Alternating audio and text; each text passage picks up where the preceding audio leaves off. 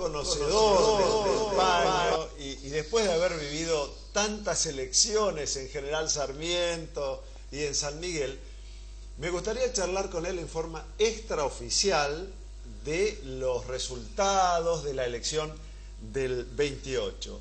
Y antes de entrar a las consideraciones, eh, se calcula que votaron aproximadamente 133 mil personas. 133 mil Sí. votantes. Votantes, sí.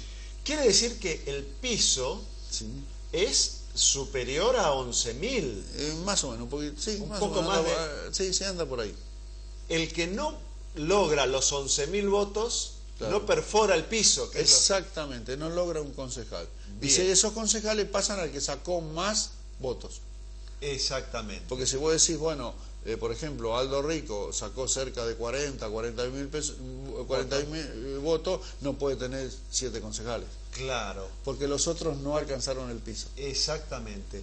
Y entonces, extraoficialmente, habrían roto el piso la lista de Aldo Rico, la lista de Reverdito De Reverdito y de Polito Fuentes. y de Polo Fuentes. que la verdad que para mí es una satisfacción porque eh, Polo es un gran trabajador, un gran político y un gran amigo. Hasta ahora esas tres, no la que se mencionaba de Tronceda, Eh, se está peleando. Vos sabés, Martín, que eh, a veces uno no es que no diga la realidad, es que eh, hay muchos contar, votos impugnados, hay eh, urnas que a lo mejor los certificados no están bien hechos, y un montón de cosas que cuando se llega al, al voto finito, claro. y como las diferencias son tan chicas, Exactamente. eh, puede cambiar. Exacto. Pero en este momento, eh, digamos, de acuerdo a las informaciones, y vos sabés que yo soy, no un estudioso, pero me encanta esto y me he Sí. informado, eh, estaría siete concejales Rico, tres concejales Reverdito, la, la fórmula de Joaquín de la Joaquín Torre. de la Torre, eh, no, eh, dos, dos, perdón, dos, y dos la lista de Polo Fuentes. Y Pues son siete y dos, no, no, perdón, siete, eh, diez. siete, ver, tres, y dos. Exactamente. Así estaría. Exactamente. Siete y tres, diez y dos, doce. No, hay una, porque hay un, uno, uno de los dos. Joaquín puede perder uno y entraría Tronceda. O perdería O, algo. o per- o no, o, o- Aldo ganaría uno. Claro. Ahí está. y Aldo está peleando, eh, Aldo Rico está peleando entre siete y ocho.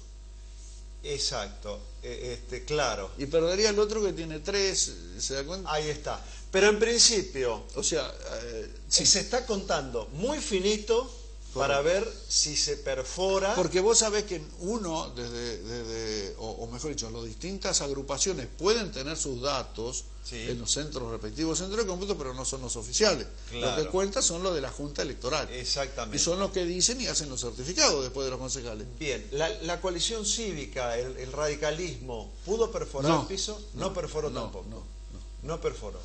Y la, y la Junta Electoral, y ahora aparentemente por la gripe A, están, están también demorados los escrutinios. Eh, Eso es lo que me han dicho. No, no tengo la confirmación oficial, pero me han dicho que sí, se va a demorar. Están demorando los escrutinios. Aparentemente- De todas formas, como van a asumir en diciembre, No, no, vamos no, a tener tiempo de saber. Exactamente, pero aparentemente para el viernes sí podría haber una ya una, una aproximación, ¿no?